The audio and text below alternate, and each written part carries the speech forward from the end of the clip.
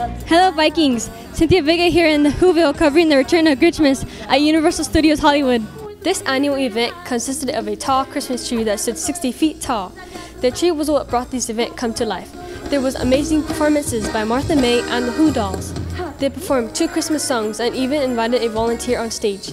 The Who Dolls dressed him up with a Santa hat and a bow around his neck. The crowd laughed and enjoyed the gesture as well as the songs. Many people came to see this performance. The Whoville people came in all shapes and sizes. Some were police officers, some were football players, and some were bakers, along with many, many more. I even got to take a picture with one of the Whoville reporters. The Whoville people were really comical and made the kids giggle. These events had fun activities for the children to do, like coloring ornaments and in my room to send Christmas letters. Now, let's not forget Mr. Grinch. A long line formed to see the Grinch. Let's just say he was very overjoyed to take pictures. I guess his heart truly grew three times. Max the dog was very obedient and surprisingly calm when taking pictures. Overall, this event was very enjoyable. Reporting from Universal Studios Hollywood, this is Cynthia.